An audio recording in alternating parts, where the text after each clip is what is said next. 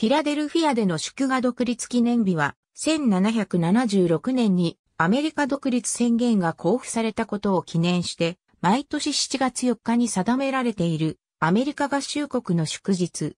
独立記念日の故障が最も一般的であり、7月4日といえば独立記念日を指す。最も米国らしい祝日と言われ、独立記念日の1週間はクリスマス、感謝祭と並び全米が祝日モードとなる。ワシントン DC、ボストン等の都市では大型の花火打ち上げや屋外コンサートが行われ、米国内外から訪れる大勢の観光客で賑わう。独立記念日には、ワシントン DC、ボストンをはじめ各地で打ち上げ花火、パレード、コンサート等のイベントが開かれ、家庭ではバーベキュー、ピクニック、野球などをして家族や友人と過ごす。独立記念日の祝日は4日のみだが、土日を挟んだ前後に休暇を取って連休にし、旅行に出かけたり帰省したりするアメリカ人が多い。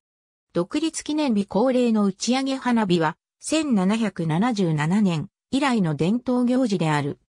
なお、独立記念日を祝う大型行事が行われるワシントン DC、ボストンでは、その週は早くから見物人でホテルが満室となる。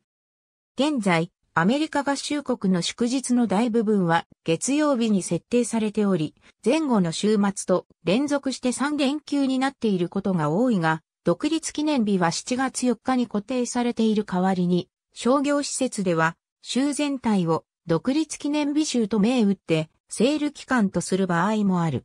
年中行事時点 P26958 年5月23日、初版発行にし、各位状況編と共同出版。ありがとうございます。